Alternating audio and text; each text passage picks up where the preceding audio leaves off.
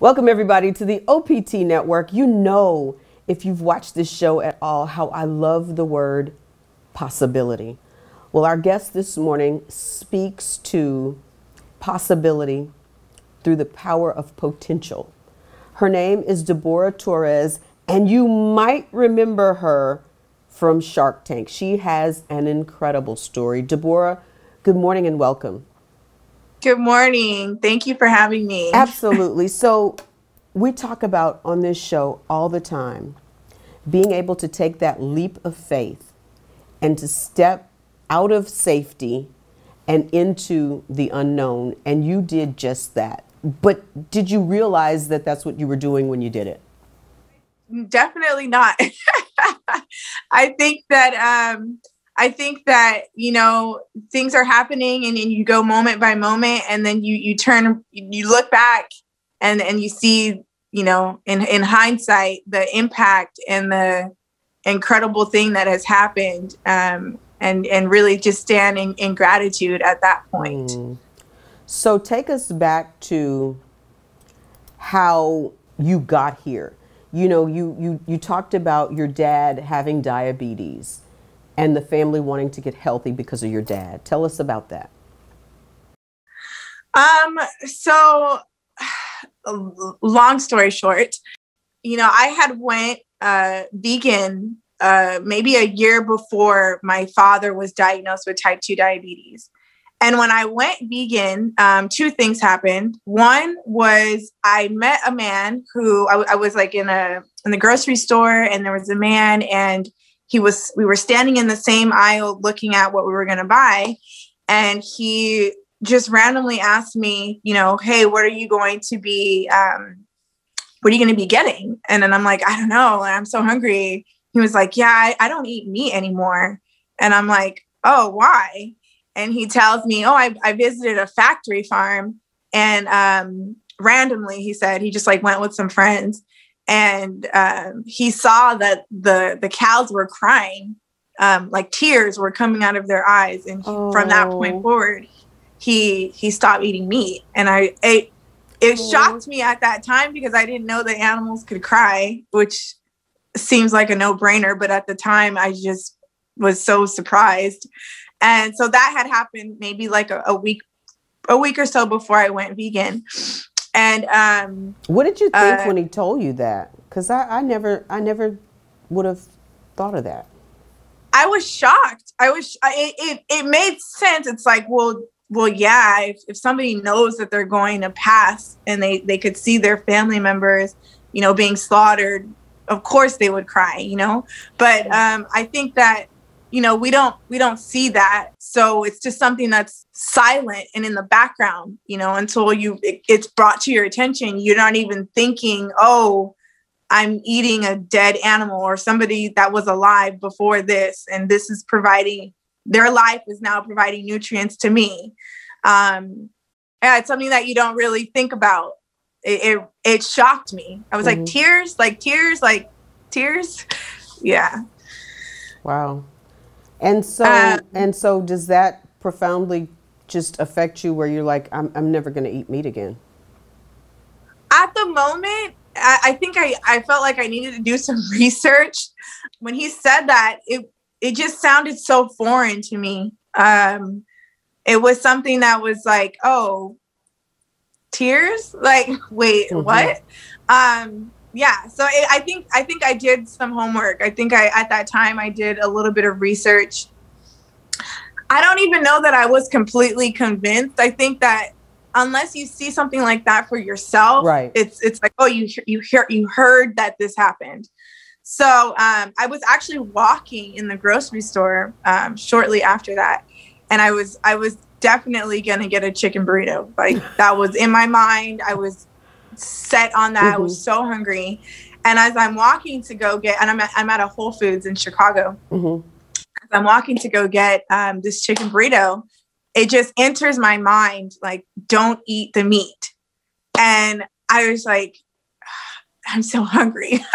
mm-hmm, mm-hmm. So I was just like, no, like, uh, no, I'm definitely gonna have. I knew all the, I knew I was gonna have it with like corn and guacamole, onion. Like, I knew how I was gonna build my burrito. Mm-hmm. And um, I was just, it, it entered my mind again. And I'm like, okay, if this is real, like if this thought is like something true, uh, let me hear a really loud noise.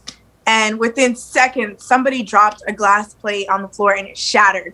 And I was like, oh, maybe there's maybe something's wrong with it. So I remember um, it wasn't until maybe like like a week or so later that I was like, okay, I need to like go vegan. And and this is at a time when like vegan restaurants weren't even a thing yet. Mm-hmm. This is this is in like 2013.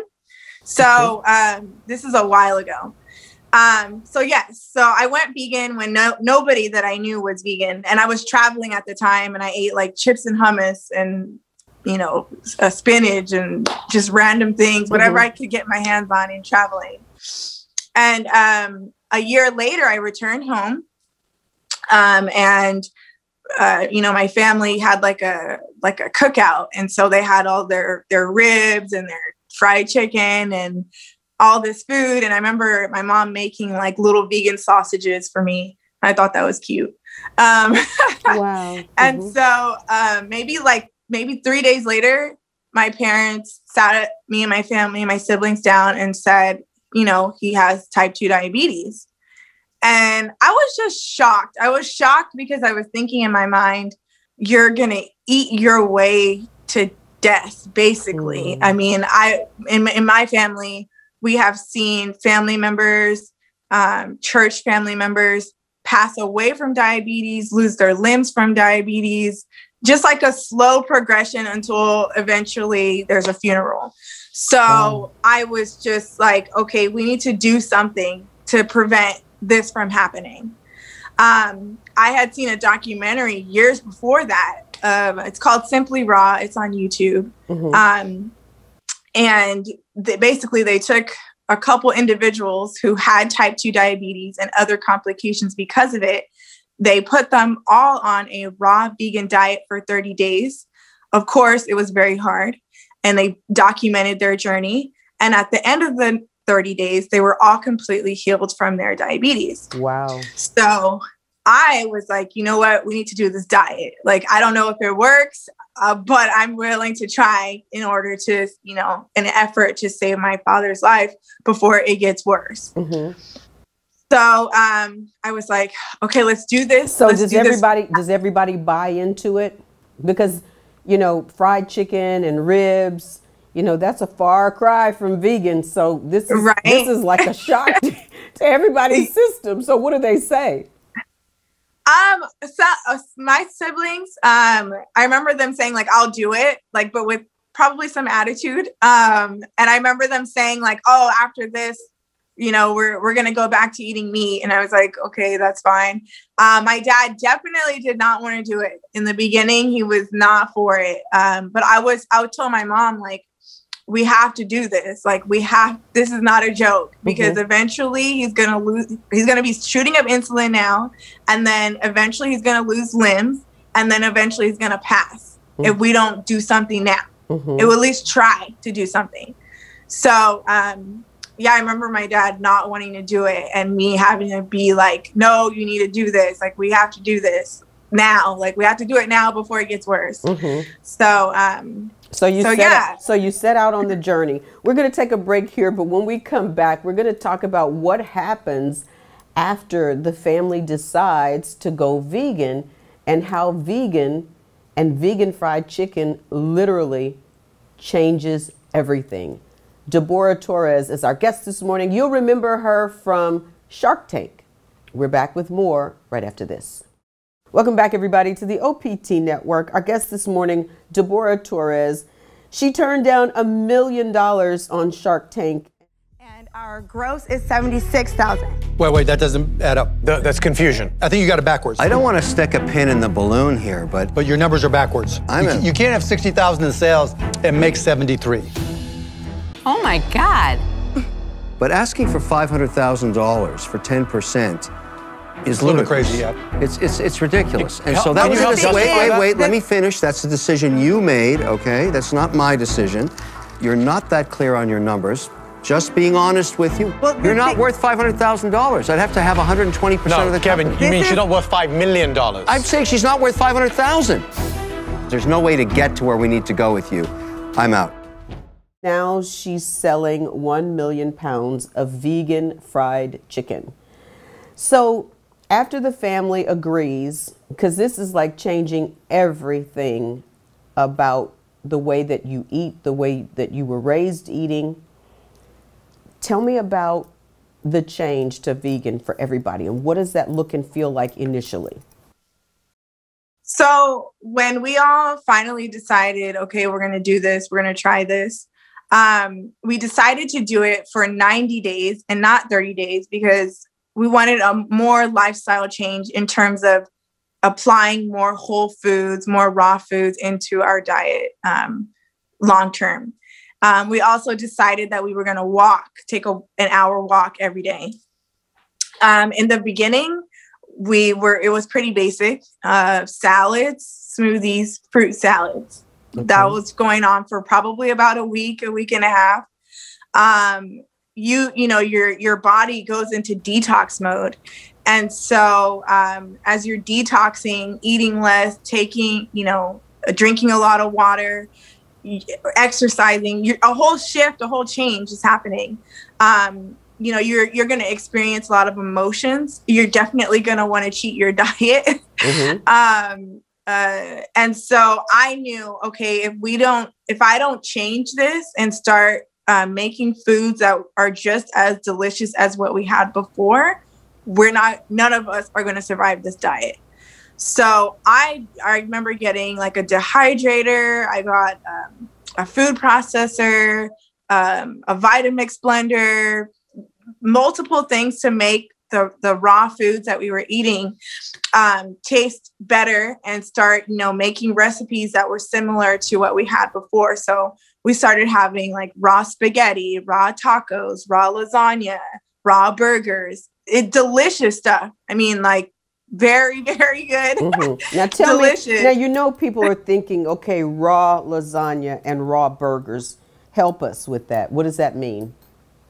Okay like for cheese we would i would make uh, cashew cheese and have like and flavor it with like raw garlic onions red bell peppers. Um you know, once you start, you know, incorporating and, and testing out raw uh, food flavors and textures, you're to learn pretty quickly that all the flavor, you know, that cooked food gets comes from plants and you're going to you're going to get really creative with what you're doing and be able to apply different things so like for spaghetti that i was saying um, i will spiralize zucchini okay. and then um, make uh, like the meat of it out of mushrooms and walnuts Ooh. and then season that. Mm-hmm. And so it would be very, it would be delicious. It would be very good. mm-hmm, very, mm-hmm, very good. Mm-hmm.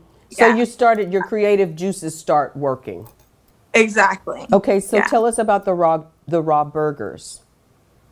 Um, same that, that ground beef would come out of, uh, uh, mushrooms, walnuts. You would season it, put it in the dehydrator, and then it, it, it you know it's together mm-hmm. um, like ground i should say and then once you dehydrate it, it it becomes a little like drier not as wet and so you you get your burger from there wow and so now everybody's starting to embrace it because you have some foods that you're that you're normally eating but but just different but they're still tasty exactly okay exactly. so when do you go for the vegan fried chicken and tell us what that, you know, without giving us, you know, all the recipe, what does that consist of? So, um, for after, the texture. So, yes. So after um, the raw diet, um, the way that that ended, by the way, is because my father visited two doctors after the 90 days and he was completely healed from diabetes. Wow. He still is diabetes free. And so after we were, you know, um, figuring out, okay, well, what are we going to do now? All of my family said, we're definitely going to be vegan mm-hmm. because they got to see the changes that occurred, you know. Um, and so we returned to eating cooked foods, but still remain plant based. Okay. And so I was like, okay, how can I make, you know, cooked food, cooked vegan food taste just as delicious as what we were eating before? Mhm. And that's when I started experimenting um, to try to make, you know, vegan um, ribs, vegan burgers, vegan fried chicken. And so a lot of trial and error um, in, Mhm. in making cooked vegan products. But um, that's exactly how Atlas Monroe was born. Wow. And so when do you decide, okay, I I'm going to turn this into a business? Atlas Monroe, which is um, the distributor or the manufacturer, when do you decide that this is so good, I think we could sell it? Well, um, I, you know, the the job that I worked at before, it paid very well. Um, definitely a, a six figure income, and so it was just like, okay, are you going to keep this job that you have Mhm. and and remain safe, or are you going to end this job that you have, take a risk, and actually start your dream? Um, and I, I think that that decision, uh, eh, what what actually um, uh, made that decision come into life was that um, my partner before he was laid off, and it Mhm. was like, well, you know, we really need to stop talking about doing this business and actually do this business because you never know what can happen and we just seen that you know with the coronavirus and Mhm. and how that just upended everybody's world if you didn't have you know your own thing going everybody's life just changed Mhm. so you know um it, it was definitely something that's you know heart wrenching but also something that really propelled us to do what what was the needful Mhm. so um you know we said we were going to do catering we've never catered ever Mhm. Mhm. uh, what actually ended up happening was I made a website. Nobody knew about this website. We didn't have any social media or anything like that. Um, I put the website up. I still had my job, and and randomly uh, somebody sent an email saying, "Hey, do you want to come out and do this this large vegan event, large vegan festival at uh, Grant Park in Chicago?" Wow. Same place, same same place where I went vegan. Wow. uh, That's coming full so- circle, huh? Exactly, exactly. And so I'm like, I thought it was spam. I thought it was a joke because I nobody knew about our company. I didn't start it. I I wanted to start it, but it I hadn't. Right. It's that. still at this point. It's still in your head. exactly. Well, it's uh, it's in my head, and there's a website that nobody knows about. Okay. So I'm like, this has to be a joke. This has to be spam. Mhm. I leave the email sitting for like two months. And then I said, you know what? What if it's real? What if this is like a real opportunity? What if somebody really found this website that Mhm. nobody knows about and it's real? so I contact the guy Uh huh. and he's like, yeah, it is real. Come out to Chicago. I, I seen your, your chicken that you have. Um, it looks amazing. Come out. And so I tell my family, "Oh my God, let's let's. I this is gonna this is gonna happen. Gonna, Mm-hmm. Now keep in mind you're amazing." you're in San Diego. I'm actually at this point. I'm in San Jose, California. Okay, you're in San Jose, California, and he's saying, Mm-hmm. "Bring this chicken to Chi Town." Yes. And so I I sell my family a dream. I'm like, oh, you know, um, you know, with the ribs that we have, uh, Uh-huh. once the smoke starts going, people are gonna come to our booth and, and get the get our food and it's gonna go amazing. So I tell them, oh, it's gonna go great. Mind you, I have no idea how it's actually gonna go. and so um, we get like we, we have a trailer and, Uh-huh. and, our, and our truck and we we haul across the United States to Chicago. We end up getting a flat tire on the trailer. Um, we get to Chicago like 12 hours after um, we, we were supposed to set to arrive, Oh, still mhm. before the event started, Mhm, but mhm. at midnight on the day of the event. Oh wow. We end up setting up all night long from midnight to 11 o'clock during the day, which is when the event actually started. Mhm. We're just setting up, trying to get everything ready as much as we can. Um, I remember seeing a long line wrapped around Grant Park, and Grant Park is where Lollapalooza is held. So this is a huge event, and I'm I'm scared. I'm like, oh my gosh, what what is going? What's gonna Uh-huh. happen? Uh-huh, uh-huh. um and so i'm like oh we're not ready oh my gosh so of course, you know, the show goes on. And so they open the, the the gates to the event and all these people come pouring in. And I'm thinking, oh well, you know, it's fine because they don't know us. Mm-hmm. Within 15 minutes um, of this event starting, I look out and somehow our our line is longer than a football field. I don't know what is going on. Wow. I'm very confused. Wait, hold that thought. Hold that thought. Let me get a break here.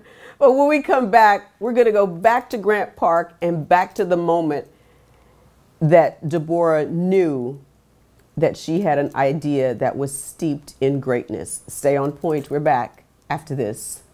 Welcome back, everybody, to the OPT Network. Our guest this morning is Deborah Torres. She turned down $1 million on Shark Tank. She's now selling 1 million pounds of vegan fried chicken through her manufacturer, Atlas Monroe. And she's joining us to talk about how she birthed this dream that is just probably mind boggling at this point. So in 2017, you were at Grant Park.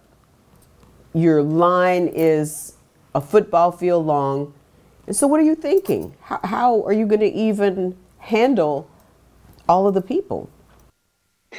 Exactly. Um, I was so confused. I didn't know what was going on. Um, of course, I later learned that the event organizers posted a photo of the chicken. And wow. so all these thousands of people came to the event specifically for the food.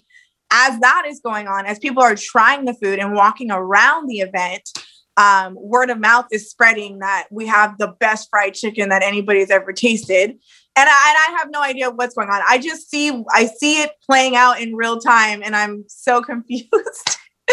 and I'm just like, oh, you know, I, I remember actually my my father, he worked at the the Gilroy Garlic Festival, um, uh, grilling ribs, real ribs, um, for 20 years. Mm-hmm. So he's used to you know seeing lines mm-hmm. and doing events. This is my first time.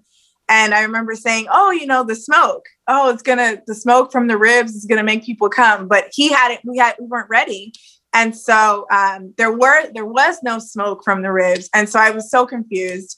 Um, but as the event is going on, you know, they're coming and they're like, "Oh, we heard you have the best food. We heard you have the best food." The DJ of the event came to the booth, came to, around to the back, and he's talking to me. He's like, "I have to have your food," and I'm like, "How do you even know?" And he's like, "Everybody's talking about it." Uh, like what? Wow. Um, so yeah, this this is how you know everything went. And funny thing, actually, I remember at nighttime when we when we had originally got there, the event organizers came up to us. They said, um, "So how's your chicken? How is it? Like what what? How, how do you guys think it is?" And my mom, being like, you know, always rooting for me and all this, she's like, "Oh, you guys know Doomies, which is this." Um, this uh, famous vegan restaurant in LA. Mm-hmm. She said, Oh, you guys know Doomies? And they're like, Yeah. And she's like, We're better than Doomies, right? Wow. so the next day comes around. And at the end of the event, the organizers came up to us. They had come and they had gotten our, our chicken as well and they tried it. So they come up to us at the end and they're like, Oh, um, your chicken is the best fried chicken we've ever had, real chicken or not. And so we're like, yeah, thank you. And then they're like, oh, and by the way, we own Doomies in Toronto. Quit it!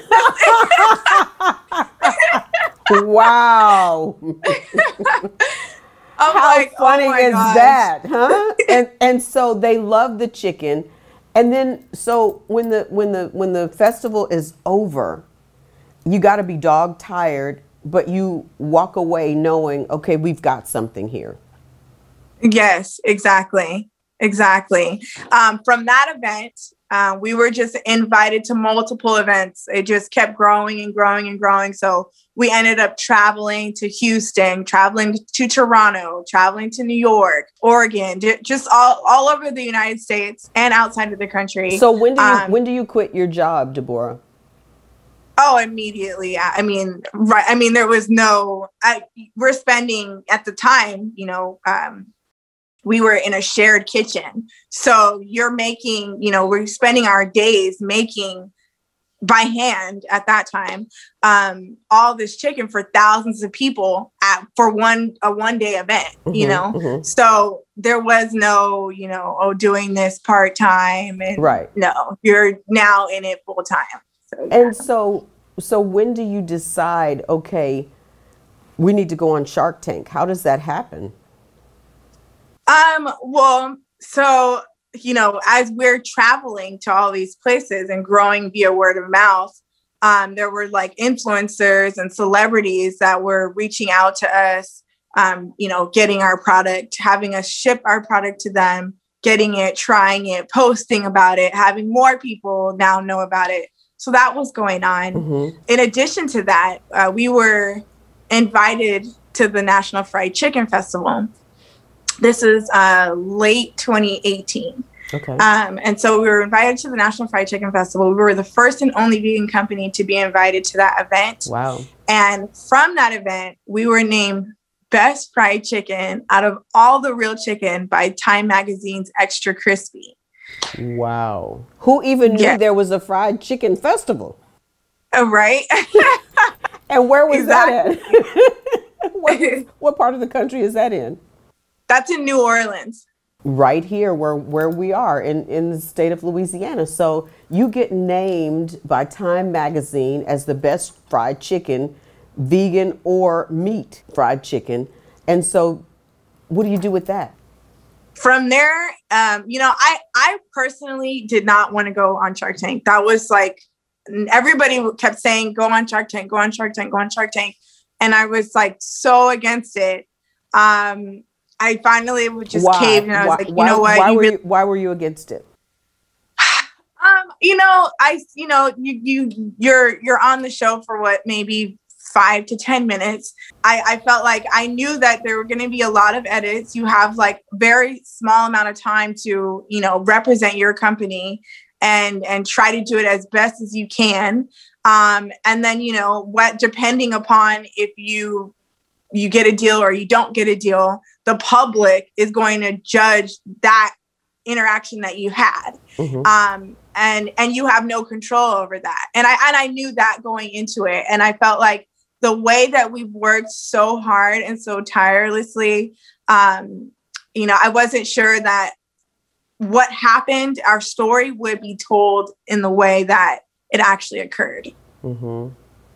Yeah and then so but you relent and and you do get chosen to go on, on shark tank which i'm sure that in itself had to be a feat yeah definitely um yeah there's there's a, a large um process to that and so getting through it and getting through it and getting through it and getting through it um, yeah, it's it's definitely an emotional roller coaster to say the least. Mm-hmm. But I, I, overall, you know, I'm very grateful. I'm very grateful for for that opportunity. It's something that I definitely don't take mm-hmm. for granted. Mm-hmm. Um, and the journey has been incredible um, since. I mean, it's been incredible the entire time. So yeah uh, it's been unbelievable i'll i'll leave it at that okay so tell me you know in that moment when you do have your, your time to make your pitch and your, your, your mind, I'm sure, is rolling to, to figure out,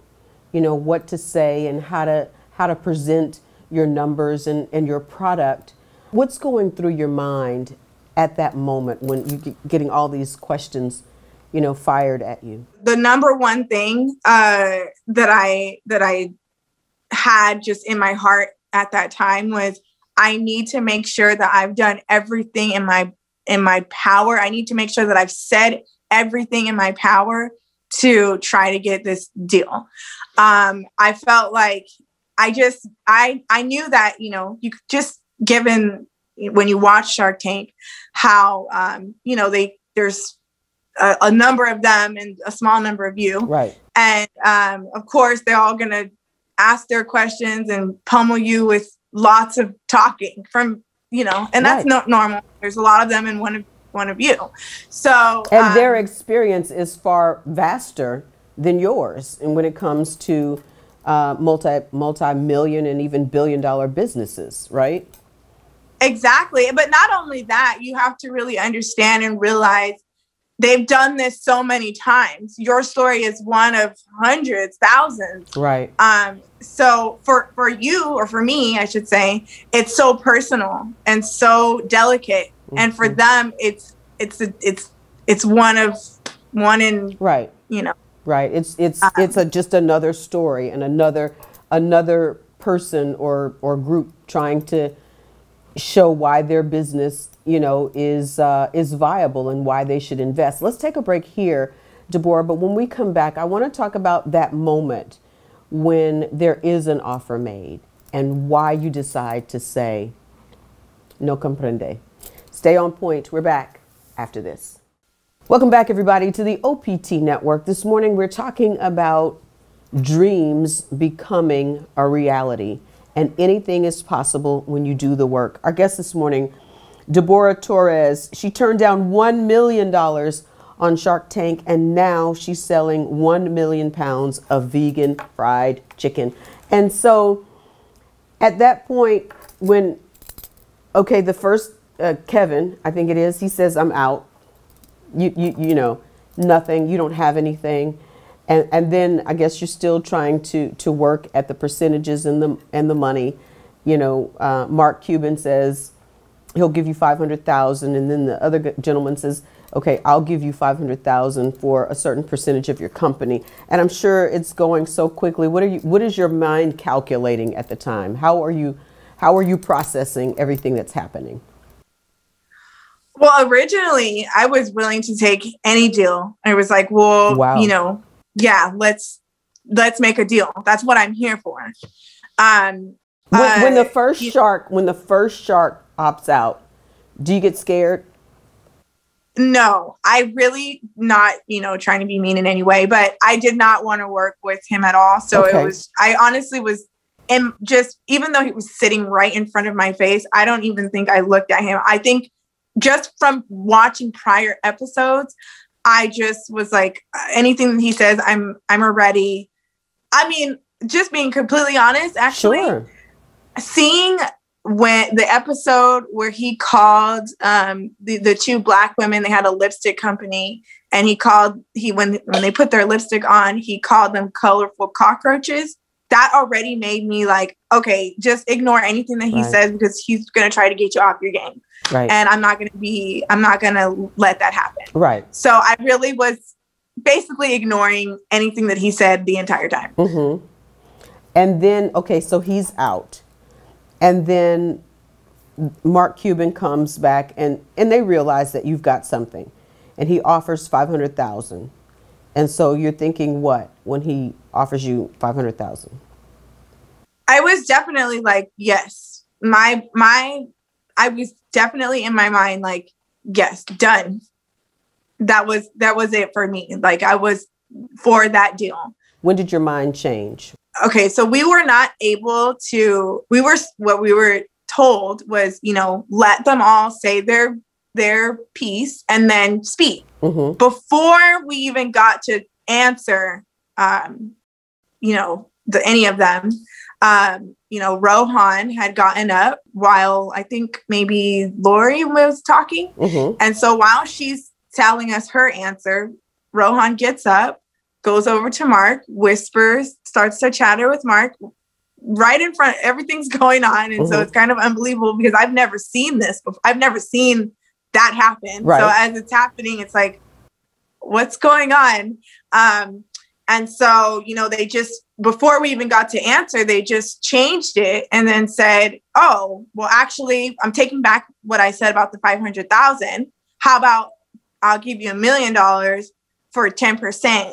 And then it was just like wait what? I didn't mm-hmm. no no that's not that's not going to happen. Mm-hmm. so um and it wasn't 10% of the company. It was you know i get 10% you get 100% i get 10% royalties.